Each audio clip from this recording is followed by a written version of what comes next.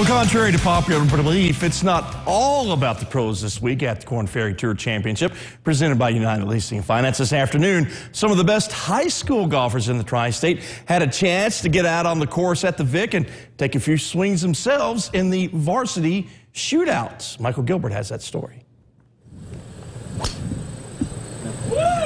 It's not every day you are paired with a pro. It's just going to be an awesome experience getting to watch them all and see how good they are, and hopefully I can get a few tips. Feels great to be able to come out here and play with these guys and learn from what they're doing and just have like a great day come out here and play with them. The varsity shootout gives high school players a chance to play at Victoria National both my coaches from last year nominated me um, to play in this, and it was just awesome. I was uh, so happy that they felt so highly of me that they would want me to represent Memorial in this event. With the honor, you get your own player introduction, too.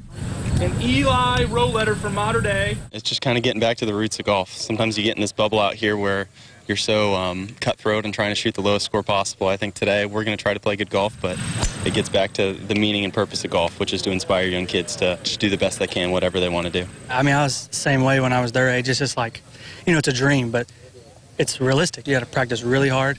You got to just give it all you got, but if you're talented enough, you can do it. While today was about fun, some were still wanting a victory. Trying to compete against all the other people and maybe come out here and get a win. A lighthearted, fun atmosphere. We were just going out there to try to compete and beat your, your friends and your peers, and um, I wouldn't mind beating some high schoolers too. It goes to show camaraderie can go a long way.